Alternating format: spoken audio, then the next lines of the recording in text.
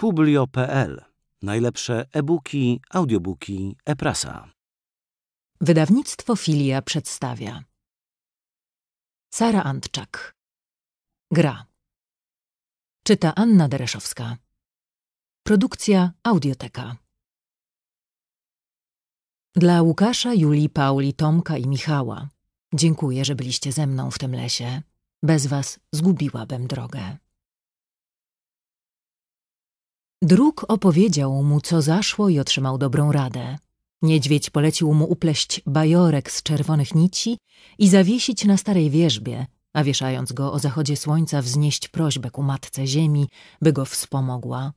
Druk uczynił, co mu poradzono. Księga Tura, Czesław Białczyński Kto mówi o zwycięstwie? Przetrwanie jest wszystkim. Rainer Maria Rilke Prolog Czuję, jak czarna, śmierdząca, wilgotna ziemia ląduje na mojej twarzy. Nie mogę się poruszyć, nie mogę zrobić nic, żeby temu zapobiec. Całe ciało jest przysypane ziemią, unieruchomione, jakby ktoś przykrył mnie trzema ciężkimi materacami. Mam związane nogi i ręce, słyszę tylko swój chrapliwy oddech, czuję jak serce łomocze jak oszalałe. Leżę na plecach w prostokątnym, świeżo wykopanym grobie, głębokim na trzy metry. W prostokącie światła nad sobą widzę cztery postacie. Mają twarze osłonięte kominiarkami. W dłoniach trzymają łopaty. Czekajcie! Krzyczę, ale wtedy hałda ziemi leci na moją twarz i kilka grudek wpada mi do gardła. Zaczynam się krztusić i rzęzić, a oni sypią mi na głowę kolejne porcje piachu. W mojej głowie zapętlone jest tylko jedno słowo. Nie, nie, nie, nie, nie, nie, nie, nie. Odmawiam umierania na ich warunkach. Odmawiam umierania na jakichkolwiek warunkach. Mam jeszcze za dużo do zrobienia. Ziemia przysypuje mi głowę, więc unoszę związane ręce, osłaniam twarz. Staram się stworzyć przestrzeń do oddychania, miejsce, w którym zatrzymam tlen. Z góry to może wyglądać, jakbym się poddawała, ale nie jestem na to gotowa. Chcę wytrzymać jak najdłużej, aż ktoś mnie znajdzie. Leżę pod grubą, ciężką warstwą ziemi. Jestem ukryta, głucha, ślepa i niema. Przypominam sobie, co słyszałam o lawinach. Człowiek jest w stanie wytrzymać piętnaście minut pod śniegiem, a potem dusi się wydychanym dwutlenkiem węgla, zatruwa sam siebie. Niech ktoś to w końcu przerwie. Niech ktoś powie, to taki głupi żart. Chcieliśmy cię tylko przestraszyć. Nie bój się, przecież to wszystko tylko zabawa. Zaraz cię uwolnimy i pośmiejemy się z tego przy ognisku. Ale w głębi serca wiem, że to nie nastąpi. To nie jest zabawa i nigdy nie była. Będę umierać powoli, dusić się w bólu samotności, potwornym strachu. Pewnie oszaleję, zanim to się stanie. Chcę stracić przytomność, odlecieć, zasnąć. Niech to się okaże koszmarnym snem. Przecież miewałam takie sny, właśnie takie. Ktoś bez twarzy zakopywał mnie żywcem. Ale gdyby to był sen, już bym się obudziła. To właśnie ten moment. Połamane paznokcie uparcie ryją ziemię. Moje ciało wciąż walczy. Drży, poci się. Myślę o niej. Moje zniknięcie zburzy jej świat. Nigdy nie przestanie mnie szukać. Wiem o tym. Przyjdzie tutaj. Tak bardzo chciałabym ją ostrzec. Powiedzieć, żeby nie zbliżała się do tego lasu. To, kim jestem, zaprowadziło mnie właśnie tu, do grobu. Zaprosiłam mrok do swojego życia. Zrobiłam to całkiem świadomie. Mrok miał ludzki kształt. Wyglądał i pachniał jak człowiek. Miał ludzki głos, nawet kilka głosów. A ja wpuściłam go do swojego życia, bo szukałam prawdy. Nie mogę dłużej wstrzymywać oddechu. Otwieram usta, a wtedy trochę grudek ziemi wpada mi do gardła.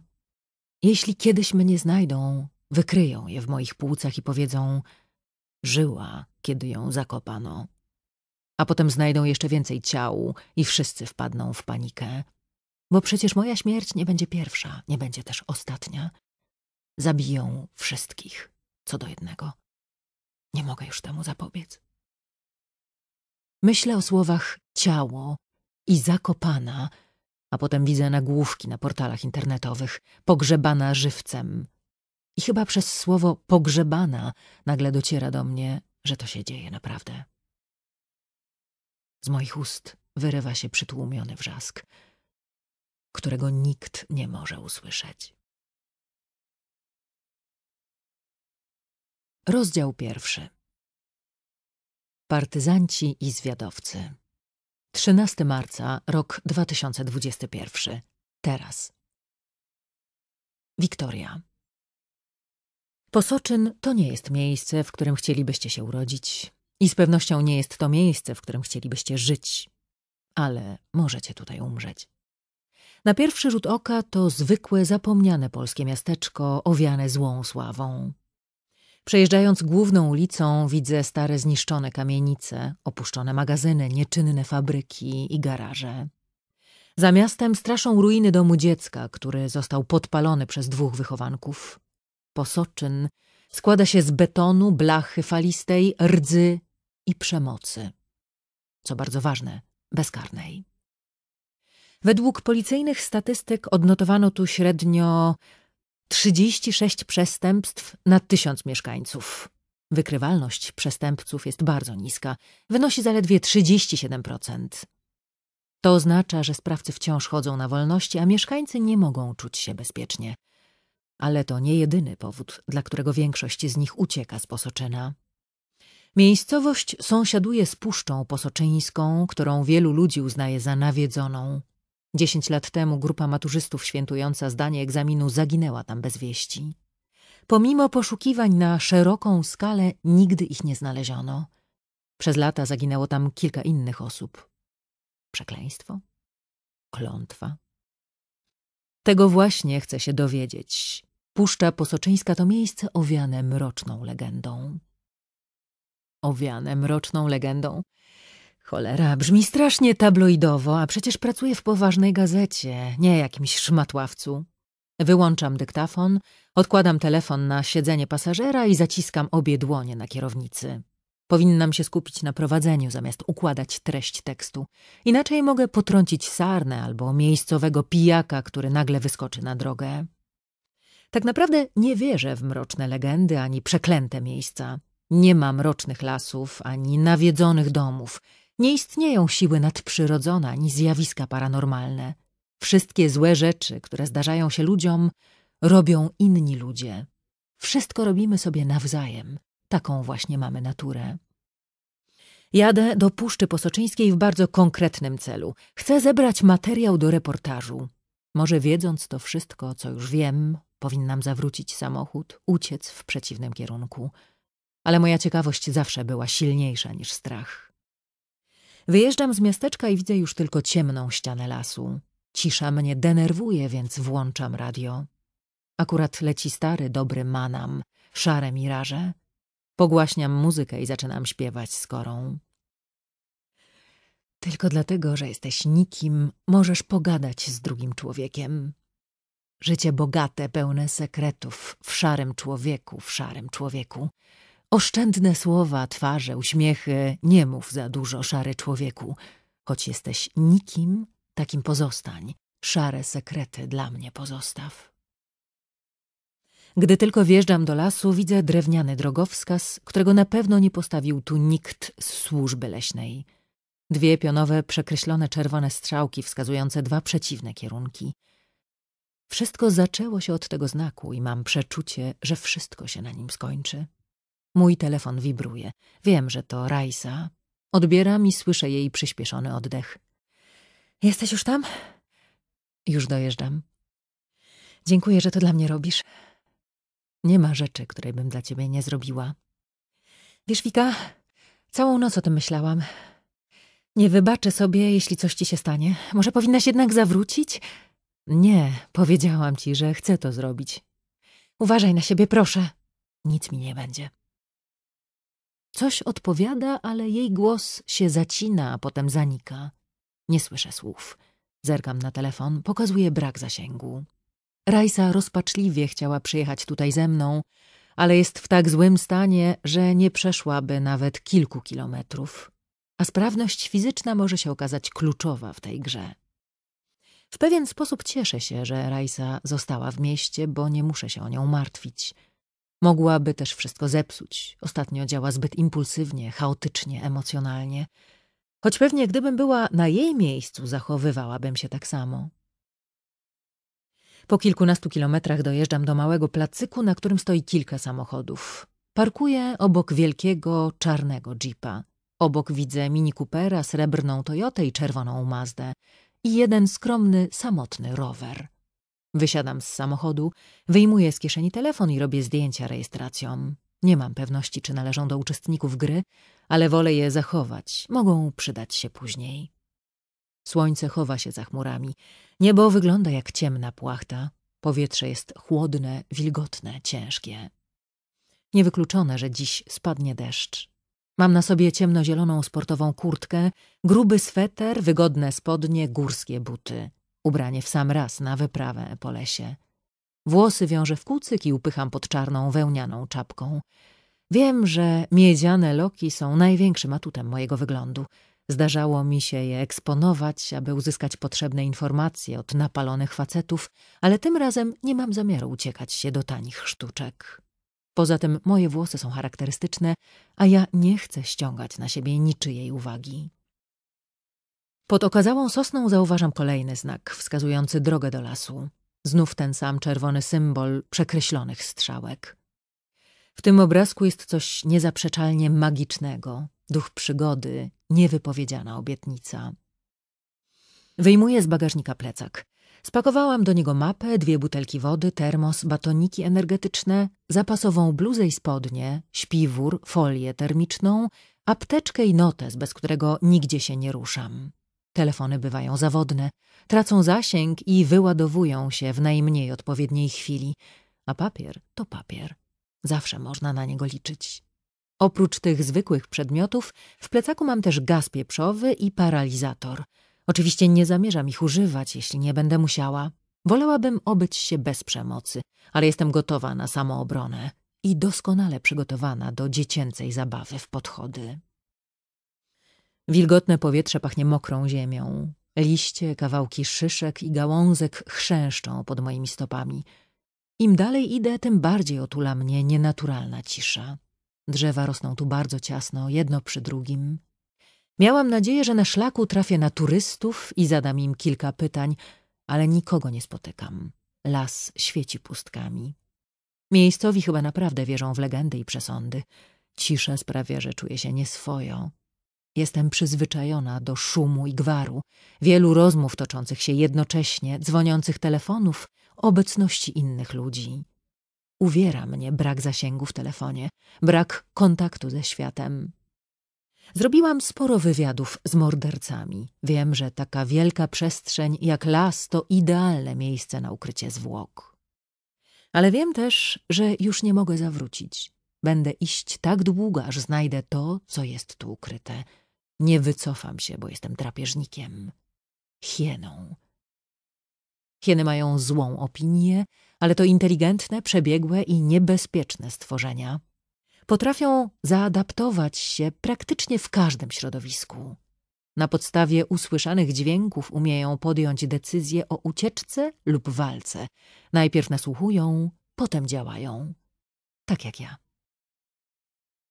Po kilkunastu metrach marszu dostrzegam pień sosny owinięty czerwoną wstążką łopoczącą na wietrze. To znak, że idę w dobrym kierunku.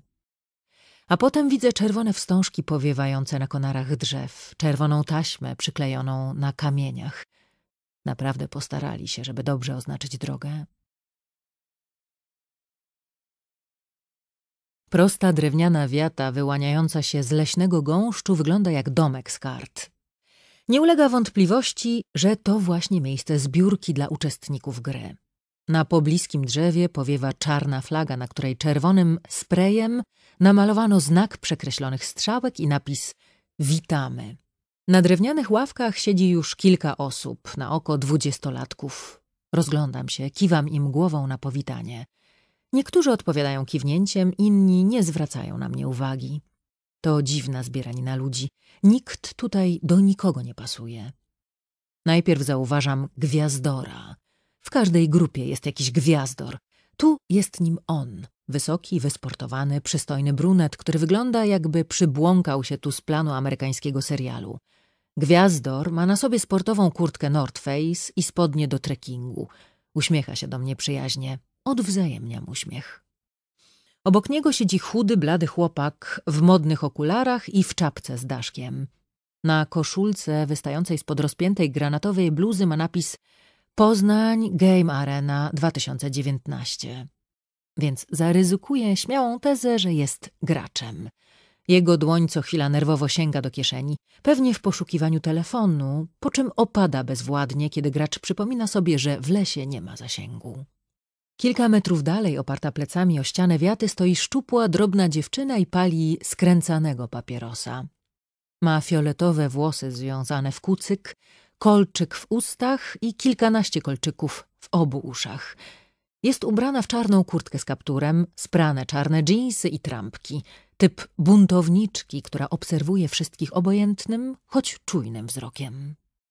Pod drzewem, nieco dystansując się od całej reszty, stoi milczący, ponury, mocno zbudowany typ. Czarne dresowe spodnie, sportowe buty i czarna Harringtonka z flagą Polski na ramieniu, a także ogolona głowa dopełniają obrazu patrioty fanatyka. Stoi nieruchomo z rękami założonymi na piersi. Pusty wzrok wbija w przestrzeń. Swoją pozą wysyła wyraźny przekaz – nie podchodź. No i jeszcze ta wystraszona, zdenerwowana piękność. Księżniczka, która rozgląda się po lesie, jakby sama nie wiedziała, co tutaj robi. Ewidentnie szuka kogoś, kto się nią zaopiekuje, szuka bratniej duszy. I już wiem, że to ja nią zostanę. Właśnie kogoś takiego miałam nadzieję spotkać i przez najbliższe kilka godzin będę jej przyjaciółką. Przeistoczę się w kogoś, kogo potrzebuję. Może to wyrachowane, może niemoralne, nieważne. W przeciwieństwie do niej ja jestem tu w bardzo ważnym celu, a ten cel uświęca środki. Cześć. Witam się podchodząc do niej. Też zastanawiasz się, czy stąd nie uciec? Księżniczka śmieje się nerwowo. Nie, ja tylko nigdy niczego takiego nie robiłam. To trochę dziwne. Nie wiem, czego się spodziewać. To chyba część zabawy, nie? Racja, tylko czuję się lepiej, kiedy znam plan. W jej urodzie jest coś szlachetnego, arystokratycznego. Blada cera, wysokie kości policzkowe, prosty mały nos, kształtne usta, wielkie piwne oczy. Długie brązowe włosy zaplecione w warkocz, żółta kurtka, czerwona czapka, niebieskie leginsy.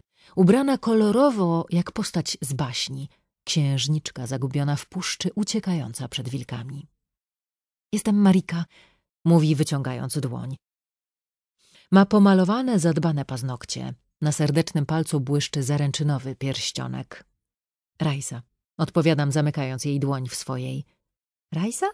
Pyta ze zdziwieniem i przez sekundę czuję się niepewnie, choć ona nie może znać mojego prawdziwego imienia. Nikt w tym lesie go nie zna. Piękne imię, mówi po chwili, nawzajem. Uśmiechamy się do siebie i atmosfera robi się bardzo miła. Już za chwilę zaczniemy sobie nawzajem zaplatać włosy i gadać o chłopakach. Doskonale. Wiesz może, o co chodzi w tej grze? Marika patrzy niepewnie na czarną flagę. Próbowałam czegoś szukać w internecie, ale nic nie znalazłam. Nie to jedna, myślę. Przez ostatni miesiąc bezskutecznie przeczesywałam wszystkie strony i fora poświęcone grom miejskim i terenowym, rajdom przygodowym i survivalom. Szukałam najmniejszego śladu. Z czasem to stało się moją obsesją. Założyłam fikcyjne konta na Facebooku, Instagramie i TikToku. Zaczepiałam ludzi, wysyłałam setki wiadomości z pytaniami o grę w podchody w Puszczy Posoczyńskiej. I nic. Brak najmniejszego efektu. Najwyraźniej organizatorzy gry odrobili lekcje i dobrze po sobie posprzątali. Zeszłoroczna edycja raczej nie potoczyła się zgodnie z planem. Ktoś zniknął. A może właśnie tego chcieli? Ale czemu znów organizują grę? Dlaczego aż tak ryzykują? Może przez brak konsekwencji nabawili się kompleksu bogów? Może uwierzyli, że nikt ich nie szuka i nic im nie grozi? Jeśli tak, popełnili ogromny błąd. Czemu tu przyjechałaś? Pytam. Chyba po prostu chciałam się wyrwać z domu. Księżniczka rzuca to lekko, ale na jej twarzy widzę napięcie. Wszyscy mamy już dość siedzenia w domu. Stwierdzam, pandemia daje w kość. Nie masz wrażenia, że ta gra jest dziwnie tania? Pięćdziesiąt złotych? Marika śmieje się nerwowo. Zawsze myślałam, że takie gry kosztują cztery razy więcej. Może chcieli, żeby było nas na nią stać. Wiesz, jest kryzys, dużo ludzi straciło pracę. No tak, Marika kiwa głową. Jasne, masz rację. Nie pomyślałam o tym. Cześć. Słyszę głosy za plecami. Odwracam się przez ramię i widzę gwiazdora. Stoi blisko, ale nie na tyle, żeby któraś z nas mogła się poczuć niekomfortowo. Wyraźnie czeka na zaproszenie do rozmowy. Dobrze wychowany chłopak. Ciekawe, jaki jest jego mroczny sekret, bo to, że go ma, nie ulega wątpliwości. Nikt nie jest taki doskonały. Nie chciałem was podsłuchiwać, ale ja też jestem tu pierwszy raz. Chłopak uśmiecha się przepraszająco. Witamy. Mówię, zapraszając go gestem. Przyłącz się. Im nas więcej, tym weselej. Ochoczo ściska moją wyciągniętą dłoń. Opuszczam wzrok. Na jego nadgarstku widzę sportowy zegarek Garmina, a więc na biednego nie trafiło, odnotowuję w myślach. Pewnie to do niego należy czerwona Mazda. Mówi głośno swoje imię, Aleksander, dla znajomych Alex. Widzę, jak Marika rozpromienia się, ściskając mu dłoń. W jej oczach zapalają się małe, ciepłe lampki, jakby dostała piękny prezent. Nie winię jej. Choć dawno temu przestałam wierzyć w miłość, wciąż jeszcze pamiętam, jakie to uczucie spotkać kogoś, dzięki komu serce zaczyna bić szybciej. Nie pracujesz czasem w Mordorze na Legnickiej? pyta Alex. No tak. Marika mruga i lekko się czerwieni. Skąd wiesz? Chyba minęliśmy się kiedyś przy windach. Często siedzisz w piątki do osiemnastej. Nie sądziłem, że ktoś jest tak szalony, to znaczy poza mną. Po prawej słyszę ciche prychnięcie. Ponieważ biurowe harlekiny nieszczególnie mnie interesują, zaintrygowana rozglądam się za źródłem dźwięku. Buntowniczka z fioletowymi włosami uśmiecha się do mnie kpiąco, wyraźnie szukając porozumienia. Poczęstujesz mnie fajką? Ruszam w jej stronę. Zostawiłam swoje w samochodzie. Kłamie, bo rzuciłam palenie, kiedy dowiedziałam się o chorobie Rajsy. Ale już widzę, że udało mi się wzbudzić jej sympatię. Niewiele rzeczy łączy ludzi bardziej niż wspólny nauk. Sojusz palaczy zawsze i na wieki. Mogą być skręcane? Buntowniczka wyciąga papierośnicę w moją stronę. Jasne, dzięki. Mówię, biorąc papierosa. Ratujesz mi życie. Chyba raczej zabieram. Dziewczyna znów się uśmiecha. Trzaska zapalniczka, pojawia się płomień. Odpalam i zaciągam się głęboko, łapczywie, jakbym nie mogła się doczekać. Byłaś już tu kiedyś? Pytam od niechcenia. Nie, to mój pierwszy raz. Mój też. Jestem Rajsa. Przedstawiam się. Nie podaję jej ręki, bo wiem, że ta dziewczyna nie przywiązuje wagi do uprzejmości. Raczej doceni brak spoufalania się. Lana, mówi podnosząc papierosa do ust. Na jej palcach widzę ślady smaru. Pewnie to ona przyjechała tu na rowerze. Paznokcie są krótkie i niepomalowane. Na jej nadgarstku dostrzegam dziwny czarny symbol. Tatuaż w takim miejscu, gdzie skóra jest cienka, jak opłatek musiał bardzo boleć. Ale skoro wybrała właśnie nadgarstek, to znaczy, że lubi ból. Lana to ksywa czy imię? Pytam. Imię. Miałam mieć na imię Laura, ale mój ojciec przyszedł pijany do Urzędu Stanu Cywilnego. Nie mógł wymówić poprawnie słowa, no i w efekcie mam na imię Lana. Beznadzieja, ale mogła być gorzej. Mogli wpisać Lala. Uśmiecham się, ale twarz Lany pozostaje nieruchoma. Też uważasz, że ta gra jest podejrzanie tania? Pytam. Lana unosi brwi. ja w ogóle za nią nie zapłaciłam, bo zapisałam się jako pierwsza uczestniczka. Przynajmniej tak mi napisali.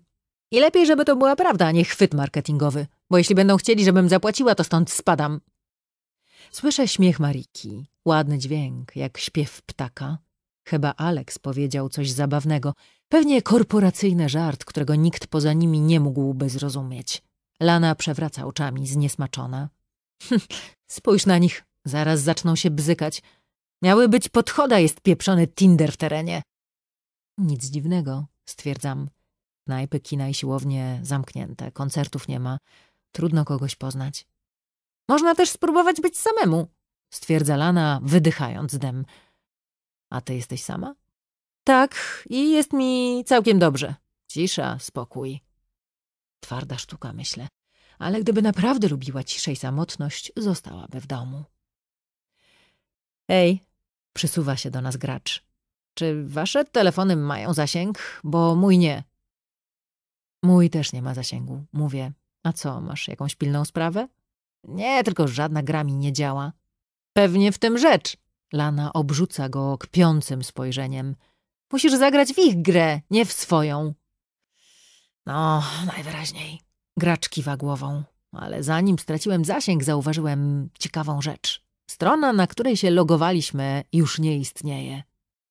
Żartujesz? Pyta Lana, marszcząc brwi. Nie. Hm, może to jakiś błąd, mówię, choć nie wierzę w to nawet przez sekundę.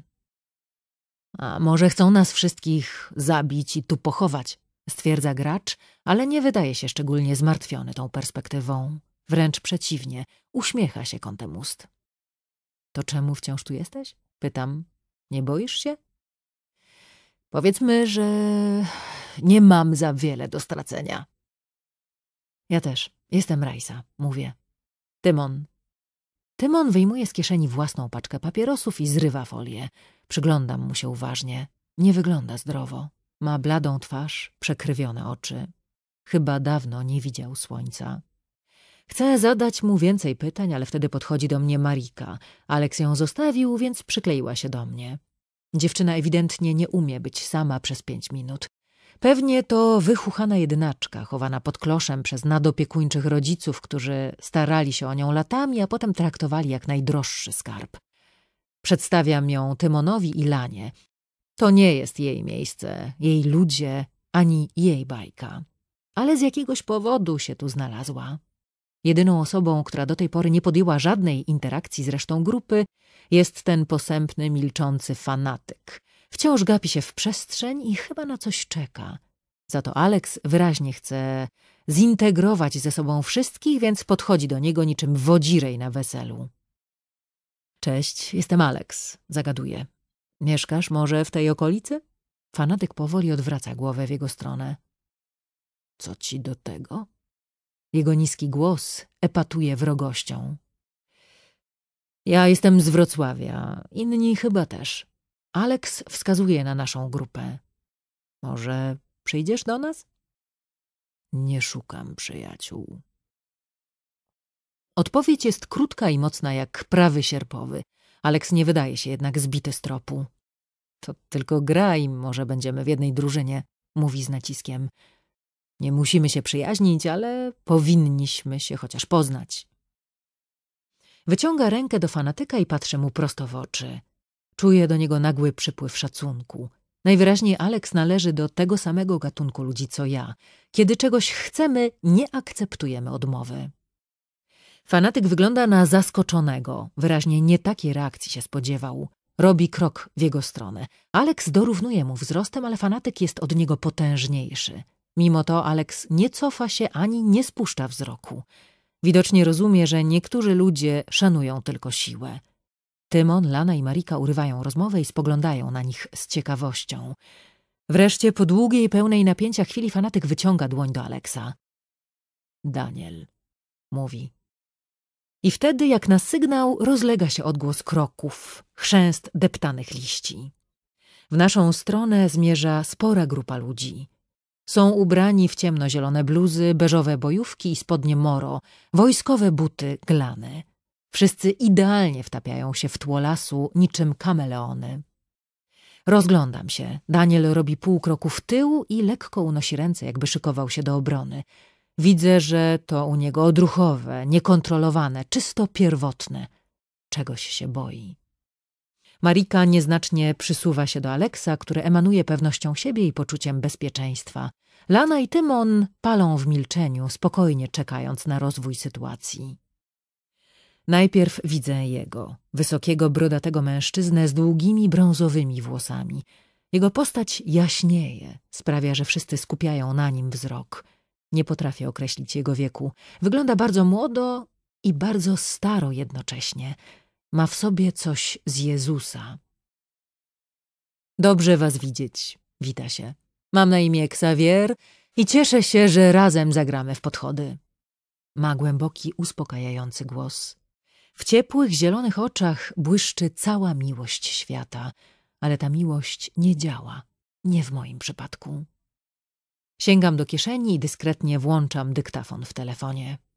Mów, charyzmatyczny wybrańcu, myślę. Mów do woli. Jeśli dobrze pójdzie, wkrótce twoje słowa przeczyta cała Polska. Zawsze spóźniacie się na własną grę? Pyta cierpko Lana. Czekamy tu na was już z piętnaście minut. To dobry sposób, żeby odsiać niepewnych i rozchwianych graczy, mówi Xavier, uśmiechając się łagodnie. Mam nadzieję, że nie macie nam tego za złe. W ramach przeprosin mamy dla was herbatę i ciastka. Na potwierdzenie jego słów cała reszta ekipy podchodzi do nas z termosami i kartonowymi pudełkami. Do mnie zbliża się niska szatynka w zielonej bluzie z kapturem i wojskowych spodniach. Wyciąga w moją stronę pudełko i nalewa parującej herbaty do zakrętki termosu. Smacznego, mówi. Musisz się wzmocnić przed grą. Jej słowa w połączeniu z zagadkowym uśmiechem brzmią dziwnie dwuznacznie. Przypominam sobie, że dzisiaj rano ci sami ludzie zlikwidowali własną stronę internetową. Jak długo chcą nas tu trzymać? Co przygotowali? Przestań, masz paranoję, upominam samą siebie w myślach. To ty przyszłaś do lasu z plecakiem wyładowanym bronią. Rozmawiaj z ludźmi, zadawaj pytania, zdobywaj informacje, zapamiętuj wszystko i najważniejsze, wyłącz emocje. Wącham herbatę, udaję, że wypijam łyk, choć usta mam zaciśnięte. Otwieram pudełko i sprawdzam zawartość. Maślane ciastko ma kształt sowy, oczy są zrobione z migdałów. Z jakiegoś powodu zaczynam myśleć o Alicji w Krainie Czarów. Jak to szło? Zjedz mnie, wypij mnie. Alicja najpierw zmalała, a potem urosła. Ale to była tylko metafora zaburzenia psychosensorycznego, halucynacji występujących u ludzi z ciężką migreną, na którą cierpiał autor książki. W chwilach bólu właśnie tak postrzegał rzeczywistość. Pakuję ciastko do plecaka, a moja towarzyszka unosi brwi, wyraźnie zdziwiona. Ciastko zostawiam na później, wyjaśniam. W końcu nie wiem, jak długo tu zostanę. Przez dłuższą chwilę uparcie patrzę w jej oczy. Dziewczyna tylko kiwa głową. Nie umiem odczytać jej wyrazu twarzy. Jest nieprzenikniony. Możliwe, że popełniłam błąd przyjeżdżając tu. Może to tylko grupa nieszkodliwych świrów, która lubi grać w gry terenowe i karmić uczestników fikuśnymi ciasteczkami. Przyglądam się im wszystkim. Oprócz mojej ciemnowłosej, troskliwej towarzyszki i Xaviera kręci się tu jeszcze dwóch chłopaków i dwie dziewczyny. Wszyscy rozdają herbatę uczestnikom gry. Ich twarze emanują dziwnym spokojem, ale w oczach czai się rozbawienie.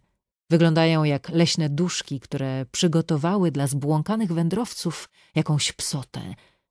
Coś ukrywają i nie mogę się doczekać chwili, kiedy to z nich wyciągnę, ujawnię, oświetlę i ogłoszę całemu światu. Zasady gry są bardzo proste, mówi Xavier. Najpierw dzielimy się na dwie drużyny zwiadowców i partyzantów. W każdej drużynie będzie po sześć osób. My, organizatorzy, jesteśmy partyzantami, wy zwiadowcami.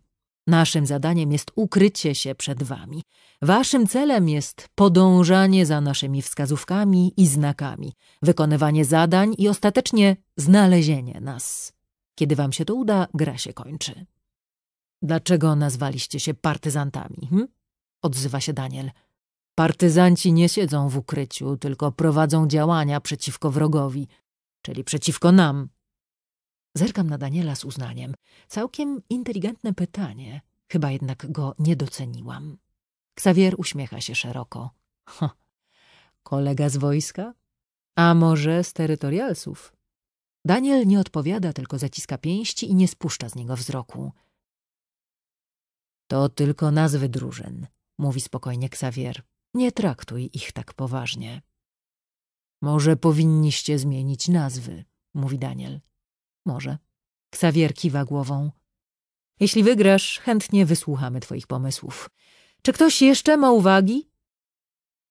Zapada chwila ciszy. Xavier cierpliwie czeka, aż ktoś z zebranych się odezwie, ale wszyscy milczą. Okej, okay, przejdźmy dalej, mówi Xavier. Zasada pierwsza. W trakcie gry nie używamy internetu. Pewnie chwilami będzie was kusiło, ale w tym lesie i tak nie ma zasięgu. Zresztą zagadki są przygotowane w taki sposób, że internet raczej wam nie pomoże. Zasada druga. Nie nagrywamy, nie robimy zdjęć, nie zapisujemy niczego, co się tutaj dzieje. Chwila, odzywam się. To w jaki sposób udowodnimy wam, że zrobiliśmy zadania? Że nie oszukujemy? Xavier zwraca na mnie swoje niesamowite, jasne, świetliste oczy. Będziemy musieli po prostu wam zaufać. Mówi cicho. Nie traktujemy was jako oszustów. Jesteśmy wobec was uczciwi i zakładamy, że wy też będziecie. Intensywność jego spojrzenia nie daje mi spokoju. Szybko wyjmuje dłoń z kieszeni bluzy, gdzie dyktafon nagrywa każde słowo. Zasada trzecia, mówi Xavier. Po skończonej grze nie upubliczniajcie w internecie niczego, co tu się stało. Wkładamy dużo trudu w przygotowanie zadań. Nie ma sensu psuć zabawy kolejnym graczom. I znowu, nie możemy tego na was wymusić. Musimy wam zaufać, ale wierzymy, że zachowacie się przyzwoicie. Zasada czwarta. W trakcie gry możecie wyrzucić kogoś ze swojej drużyny, ale musicie być w tej kwestii absolutnie zgodni. Pięć osób musi zagłosować za. Dlaczego mielibyśmy kogoś wyrzucać? pyta Alex. W ten sposób zmniejszamy swoje szanse na wygraną. Czasami ludzie po prostu do siebie nie pasują, mówi Xavier wzruszając ramionami. Mówiłeś, że w lesie nie ma zasięgu, a co jeśli komuś z nas się coś stanie? Pyta nerwowo Marika. Jak wezwiemy pomoc? Musicie liczyć na pomoc kolegów. Xavier uśmiecha się do niej łagodnie. Jedna osoba może w każdej chwili wyjść z lasu i kogoś wezwać, ale nic wam nie grozi. Najgorsze, co może was spotkać, to lekkie kontuzje i pogryzienie przez mrówki. Jak długo trwa gra? pyta Lana. Gra trwa, dopóki nas nie znajdziecie. Może wam się to udać w ciągu kilku godzin, może zajmie to nieco więcej czasu. Wszystko zależy od was. Oczywiście w każdej chwili możecie zrezygnować i wrócić do domu, ale jeśli nas znajdziecie, mamy dla was nagrody. Jakie? Pytanie wyrywa się z ust Lany, chyba trochę mimowolnie, bo szybko zagryza wargi. Xavier uśmiecha się szeroko i robi gest, jakby wykonywał magiczną sztuczkę. Tego dowiecie się dopiero po wygranej. Wierzymy, że wyobraźnia jest najlepszą motywacją. Spoglądam na otaczające mnie twarze. Wszyscy wyglądają na zaintrygowanych. Skoro nie macie więcej pytań, to zaczynamy, ogłasza Xavier. Moja towarzyszka wyciąga z kieszeni czarną przepaskę i podsuwa mi ją. Co to? Pytam podejrzliwie. Przepaska do przewiązania oczu, tłumaczy dziewczyna, żebyście nie widzieli, w którym kierunku uciekamy. To konieczne? Pytam, patrząc na Ksawiera. Nie ulega wątpliwości, że on tu rządzi, a ja nie mam najmniejszej ochoty stać przed nim zupełnie bezbronna z zasłoniętymi oczami. Nie, uśmiecha się Ksawier. Nic tutaj nie jest konieczne i obowiązkowe. Ta przepaska to część gry. Widzę, że twoi koledzy z drużyny zwiadowców nie mają z tym problemu. Rozglądam się. Rzeczywiście Alex, Tymon, Marika, Lana, nawet Daniel bez sprzeciwu zakładają przepaski na oczy. Ale oni przyszli tu, żeby się zabawić. Jeśli Xavier liczy na to, że dopadnie mnie instynkt stadny, jest w błędzie. Myślałam, że nam ufacie, mówię kpiąco. Xavier zbliża się do mnie i nieoczekiwanie kładzie mi rękę na ramieniu. Wzdrygam się. Już dawno żaden obcy facet nie dotknął mnie bez mojej zgody. Ale w tym geście nie ma dominacji ani chęci podrywu. Jest coś zupełnie innego, coś, czego nie potrafię nazwać. On patrzy na mnie tak, jakby znał mnie od zawsze. To tylko zabawa, mówi cicho. Pamiętasz te piękne chwile z dzieciństwa, kiedy wydawało ci się, że wszystko może się zdarzyć? Możesz znowu się tak poczuć. Ma w sobie coś z ulicznego włóczęgi, który zaczepia cię pod sklepem i zaczyna opowiadać dziwne historie, a ty z jakiegoś powodu nie umiesz mu przerwać.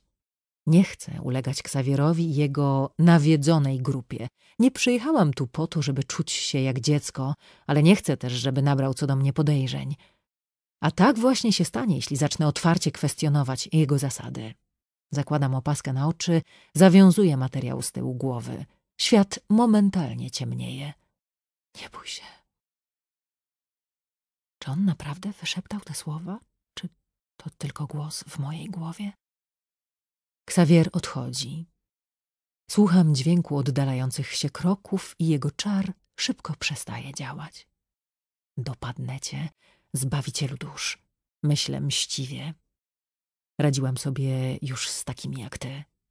W momencie, kiedy mój tekst pójdzie w świat, nie będziesz miał się gdzie ukryć. Posłuchajcie. Głos Ksawiera dobiega teraz z lewej strony.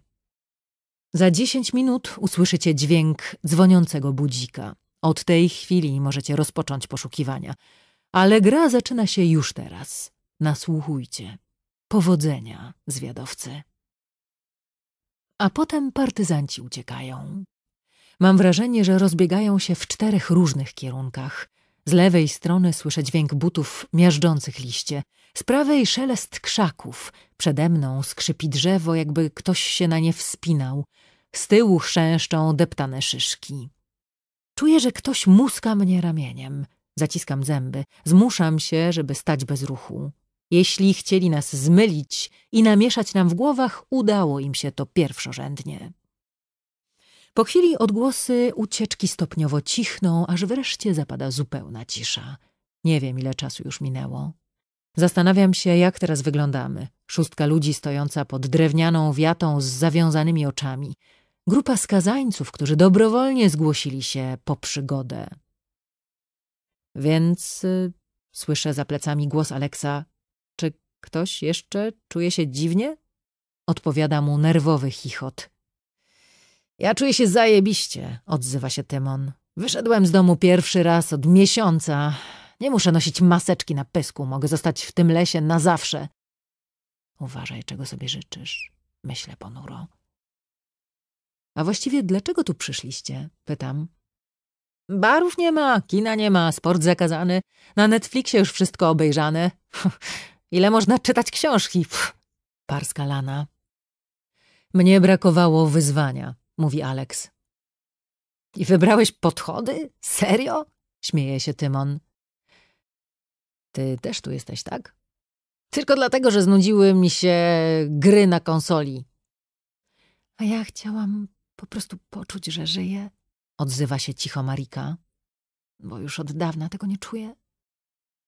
Zapada chwila ciszy. Nikt nie komentuje jej słów, ale mam wrażenie, że wszyscy się z nimi utożsamiają. Jedyną osobą, która nie odpowiada na moje pytanie jest Daniel. Nie wiem nawet, czy wciąż tutaj jest. Oddycham spokojnie, miarowo, odliczam w myślach sekundy. Słucham dźwięków lasu, szumu wiatru, głosu ptaków, które nagle zaczęły śpiewać. To przyjemne, relaksujące uczucie przypominające medytację. Nie podoba mi się tylko poczucie całkowitej bezbronności. Nie wiem, co wydarzy się za chwilę. Nagle ciszę przerywa przenikliwe, głośne terkotanie. Dźwięk budzika. Wzdrygam się i z ulgą zrywam opaskę z oczu. Światło najpierw mnie oślepia, ale obraz szybko się wyostrza.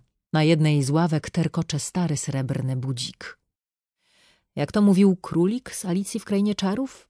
O rety, o rety, na pewno się spóźnię. Wybiła godzina czternasta. Czas zacząć poszukiwania.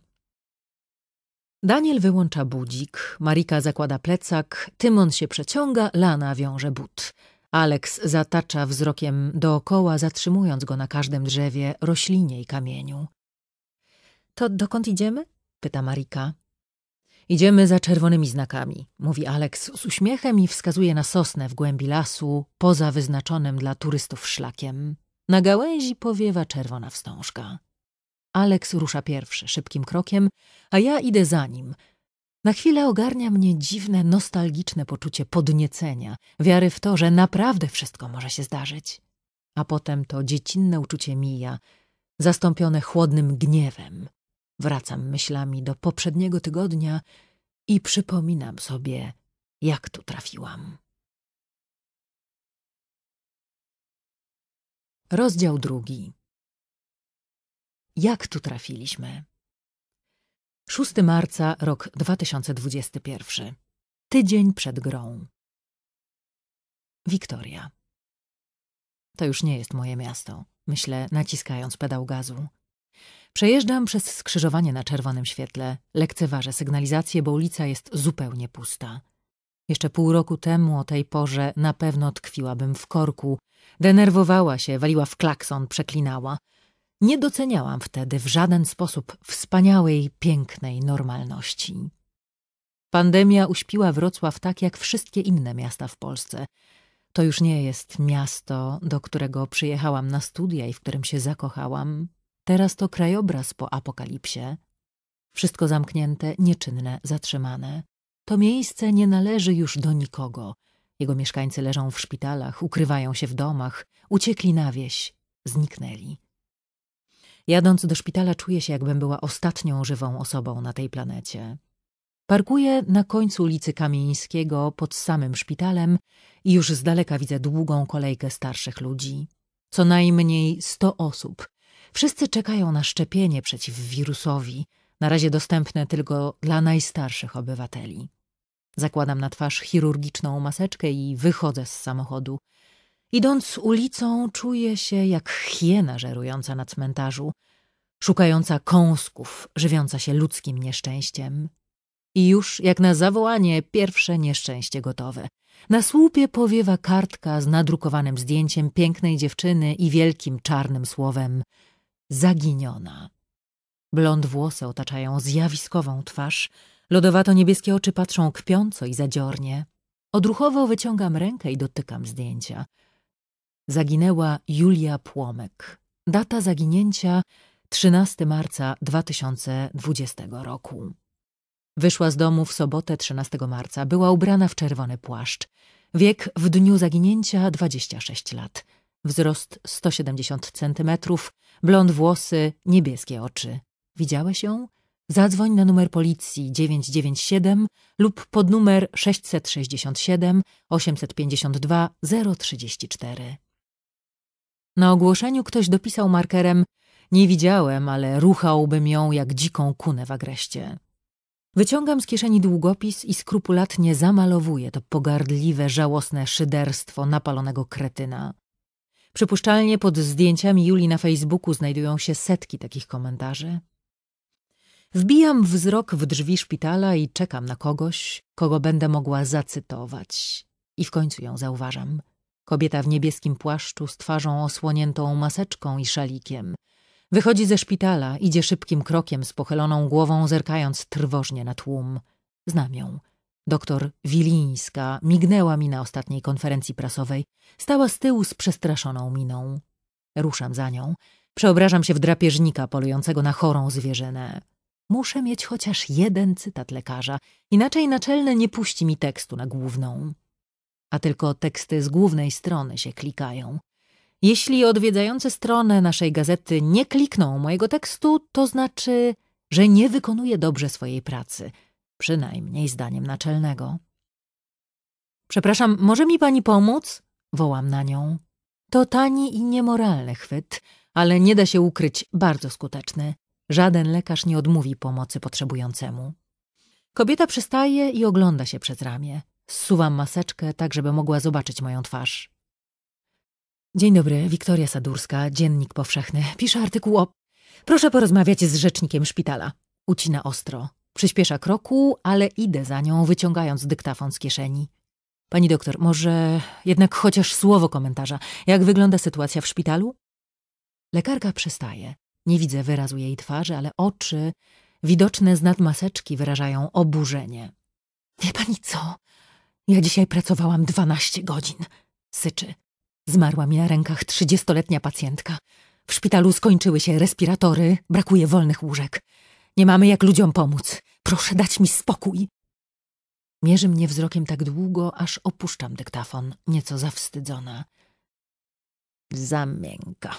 Smoknąłby mój naczelny, gdyby tylko mógł to widzieć. I miałby rację. Jestem zdecydowanie skuteczniejsza w konfrontacjach z politykami. Dla nich nie mam żadnej litości. Ale co mi da dręczenie tej biednej kobiety? Świat idzie na dno jak tonący statek. Wszyscy o tym wiedzą i bez moich tekstów. Czuję, jak ktoś klepie mnie w ramię. Odwracam się, gotowa na ewentualną awanturę. Nasza gazeta, jak każdy opiniotwórczy dziennik, ma wielu przeciwników. Ale zamiast wściekłej twarzy wykrzywionej pogardą widzę moją najlepszą przyjaciółkę Rajsę. Ona też pracuje w tym szpitalu. W normalnych okolicznościach pewnie opieprzyłaby mnie za to, że nękam jej koleżanki. Ale przecież nie jest normalnie. I może już nigdy nie będzie. Raisa rok temu straciła siostrę i ogłoszenia rozklejone w całym mieście nieustannie jej o tym przypominają. Julia patrzy na nią z każdego słupa i z każdego przystanku. Raisa podchodzi bliżej. Widzę łzy w jej oczach. Wika, słyszę, jak łamie jej się głos. Musisz mi pomóc? Obejmuję ją i przyciskam mocno do siebie, a ona powtarza to zdanie jeszcze kilka razy jak zaklęcie. Kupuję dwie kawy na stacji benzynowej. Czarne, bez cukru, takie jakie obie lubimy.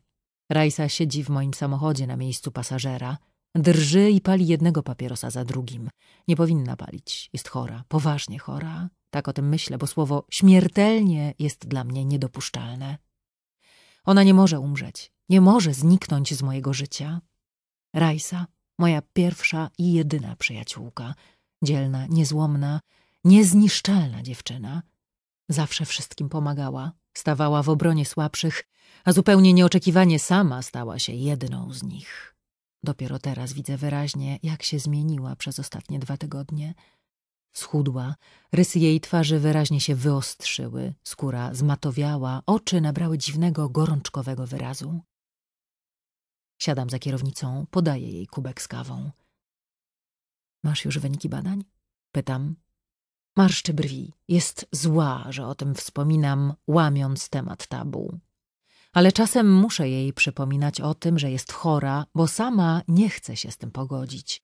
Twierdzi, że trwa pandemia i wszyscy są chorzy, więc jej sytuacja jest właściwie zupełnie normalna. Próbuję wyczytać z jej twarzy odpowiedź, czy wyniki są dobre, czy złe, ale w zamian dostaję tylko ostrzegawcze spojrzenie. Jak mogę ci pomóc? Niechętnie zmieniam temat. Wiesz jak, odpowiada natychmiast. Myślę, że choroba Rajsy ma związek z zaginięciem jej młodszej siostry. Cały ten niewyobrażalny stres, nieustający lęk i niepewność, które tłumiła w sobie przez ostatni rok, musiały mieć wpływ na jej organizm. Kilka miesięcy temu zaczęła czuć się zmęczona, osłabiona, ale bagatelizowała objawy do czasu, aż w końcu zemdlała w pracy. Dopiero wtedy zrobiła badania. Kiedy poznała diagnozę, jej determinacja, aby odnaleźć siostrę, zmieniła się w obsesję. Boi się, że nie starczy jej czasu. Wiem o tym. Rajsa zaciąga się ostatni raz i gwałtownie gasi papierosa w popielniczce. Policja mnie wyśmiała. Nic z tym nie zrobią. Wyrzuca z siebie. Minął już rok, odkąd zniknęła. A wiesz, co to dla nich oznacza? Trup. Nie chce im się szukać ciała. Wolą tłuc ludzi na protestach a kiedy przynoszę im coś, co mogą wykorzystać... Rajsa, mówię cicho. Rozmawiałyśmy już o tym. To była tylko jakaś stara ulotka, do której dorobiłaś historię. Nie wiadomo, czy twoja siostra wzięła w tym udział. Nie wiadomo, czy ta cała gra w ogóle istnieje. Wiem, że chcesz w to wierzyć, ale... Ja wiem, że ona istnieje! Skąd? Rajsa wyjmuje z kieszeni czerwoną kopertę i podaje mi ją. W środku jest mała, czarna ulotka. Najpierw widzę znak, dwie pionowe, przekreślone strzałki wskazujące przeciwne kierunki i czerwone litery układające się w trzy zdania. Podchody 2021. Dołącz do gry, podążaj za czerwonymi znakami. I adres strony internetowej. To znalazłam dzisiaj w mojej skrzynce pocztowej. Nowa ulotka wygląda tak samo jak poprzednia, zmieniła się tylko data. Głos Rajsy zaczyna drżeć. To przyszło do mnie równo rok po jej zaginięciu. Nadal uważasz, że wszystko sobie wymyśliłam? Nie odpowiadam. Rajsa stuka palcem w ulotkę. Na tej stronie można zgłosić się do gry. Zapisałam się. Zwariowałaś? Podnoszę głos. Przecież ty masz raka. Powinnaś leżeć w domu i odpoczywać, a nie ganiać się z jakimiś świrami. Nie pójdziesz tam, nie ma mowy. Więc mi pomóż. Ja wiem, że Julka żyje i nie mogę jej stracić. Nie mogę. Patrzę na nią bez słowa. Przed oczami stają mi wszystkie wspólne chwile. Moment, kiedy usiadłyśmy w jednej ławce w liceum i po raz pierwszy podałyśmy sobie dłonie. Wszystkie wspólne radości i smutki, tajemnice i sekrety nocne, szeptane rozmowy przez telefon, pierwsze zawody miłosne, pełna przygód podróż stopem po Europie i ta piękna chwila tuż po maturach, na koncercie kultu, gdy skakałyśmy krzycząc Hej, czy nie wiecie, nie macie władzy na świecie? Ale teraz już nie jesteśmy nastolatkami, z całym życiem rozciągającym się przed nami, niczym świetlista droga pełna szans, nadziei i możliwości. Teraz jesteśmy dorosłymi, trzydziestoletnimi kobietami. Żyjemy w złych, mrocznych czasach i możemy liczyć tylko na siebie nawzajem. Obie o tym wiemy. Pomożesz mi, Wika? Rajsa nie spuszcza ze mnie oczu. Mam tylko ciebie. Zrobisz to? Znajdziesz ją? Jej wzrok jest nieugięty, sprawia mi fizyczny ból. Rajsa, moja najlepsza przyjaciółka od czternastu lat. Nikt nigdy nie poznał mnie tak dobrze jak ona i nikomu na tym nie zależało. Inni ludzie pojawiali się i znikali z mojego życia, a ona zawsze trwała przy mnie, niezawodna, lojalna i silna. Tak, mówię. Znajdę ją. Obiecuję. Powtórz mi, bo chyba się kurwa przesłyszałem. Tak właśnie odzywa się do mnie Kajetan Dąbrowski, redaktor naczelny Dziennika Powszechnego, kiedyś najpopularniejszej gazety w Polsce, obecnie dziennika, który walczy o przetrwanie. Twarz naczelnego, widoczna na ekranie laptopa, jest lekko rozmazana, widmowa. Sądząc po jego zdjęciu profilowym na fejsie, dwadzieścia lat temu był przystojnym facetem, ale wszystkie wypalone przez lata papierosy i wypite drinki zrobiły swoje – Obecnie roztył się, wyliniał, spuchł, stał się cyniczny i wściekły na świat. Czasem mu współczuje, ale tylko czasem. Jest środek pandemii, przypomina Kajetan. Ludzie umierają, w szpitalach brakuje miejsc, na ulicach codziennie jakiś protest. Złoty czas dla dziennikarza, a ty chcesz jechać do lasu, żeby grać w podchody? Tak. Widzę, jak masuje sobie skronie, jakby dostał ataku migreny. Często wykonuje ten gest podczas rozmów ze mną. Wiktoria, masz minutę, mówi. Przekonaj mnie, dlaczego to dobry pomysł. Poprawiam się na krześle i prostuję ramiona, gotowa do walki. Rok temu siostra mojej przyjaciółki zaginęła. Głośna sprawa, pisałam o niej, mieliśmy nawet jej zdjęcie na układce, pamiętasz? Pamiętam, ładna, nie znaleźli jej. Szkoda dziewczyny, no ale życie toczy się dalej. Zagryzam wargi, słysząc lekceważenie w jego głosie. To dość bezwzględna postawa, nawet jak na niego. A z drugiej strony, gdyby przejmował się każdą mroczną sprawą, którą opisujemy, już dawno by oszalał. Może to moja wina, źle zaczęłam temat. Dla naszej gazety liczą się tylko nowe sprawy, nie stare. Rok temu Julia była tematem numer jeden w Polsce. Dzięki jej urodzie sprawa nabrała błyskawicznego rozgłosu w mediach. Ale potem szalejąca pandemia zepchnęła ją z piedestału. Dziś już nikt o niej nie pamięta. Nazywała się Julita, tak? Pyta Kajetan przepraszającym tonem, wyraźnie chcąc zatrzeć wrażenie po swojej pierwszej reakcji. Julia, poprawiam go, Julia Płomyk. Kiedy wypowiadam jej imię, nagle niespodziewanie widzę ją tak wyraźnie, jakby właśnie weszła do pokoju. W moich wspomnieniach Julia migoce i skrzy się jak diament. Zawsze wydawała mi się trochę nierzeczywista z tymi swoimi wielkimi, świetlistymi oczami, twarzą elfa i jasnymi, długimi włosami. Kiedy jej na czymś zależało, zatracała się bez reszty i była skłonna do największych poświęceń. Jeśli coś nie szło po jej myśli, szybko zaczynała nienawidzić. Nigdy nie bywała letnia w emocjach. Czułam, że jej życie będzie niezwykłe i rzeczywiście takie się okazało. Czuję, jak coś ściska mnie za gardło i chrząkam, chcąc pozbyć się chwilowej słabości. Nie należę do ckliwych osób. Zresztą emocje nie działają na naczelnego, jemu potrzebne są suche fakty. Powiedziała siostrze, że jedzie z chłopakiem pod namiot do Puszczy Posoczyńskiej. Mówię. Zaraz później wyłączyła telefon. Jej siostra się zaniepokoiła i zadzwoniła do jej chłopaka. Okazało się, że on był w tym czasie w domu i nawet nie wiedział, że mają dokąd się razem pojechać. Daj spokój, Rajsa, historia jakich wiele, prycha naczelny. Pewnie to on ją zabił, ukrył zwłoki w lesie i wrócił do domu. Policja też tak uważała, więc go sprawdzili. Przez cały weekend był w pracy. Więc załatwił ją jej drugi facet, ten, z którym tak naprawdę pojechała pod namiot. I znowu, policja była tego samego zdania, więc sprawdzili jej maile i wszystkie inne komunikatory, ale nie znaleźli dowodów romansu. Przeszukali Puszczę Posoczyńską. Nie było tam ani jej ciała, ani jej rzeczy. Próbowali namierzyć jej telefon, ale nie udało się. Nie było po niej śladu. Może miała dość swojego życia, chciała zacząć od nowa i wyjechała za granicę. Takie rzeczy się zdarzają. Nie słyszałaś o syndromie Gogena? Słyszałam. Julia nigdy nie zrobiłaby tego swojej siostrze. Gdyby chciała uciec, powiedziałaby jej. Bardzo ją kochała. O, wzruszyłem się. Zostało ci trzydzieści sekund.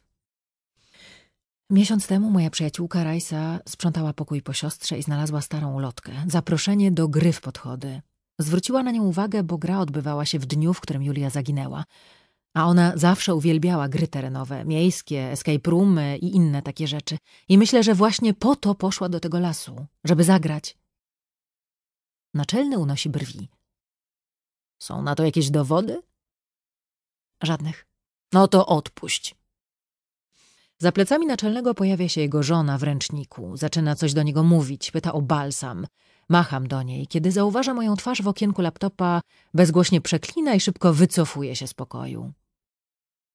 Próbowałam znaleźć jakiekolwiek informacje o tej grze. Mówię, jeśli to były zwykłe podchody, dlaczego nie było nawet wydarzenia na Facebooku, ani wzmianki na Instagramie czy TikToku?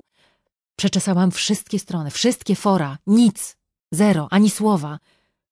Słyszałeś, żeby w tych czasach odbywały się wydarzenia, po których nie zostaje żaden ślad w internecie? Naprawdę myślisz, że ktoś ją zabił podczas gry w podchody?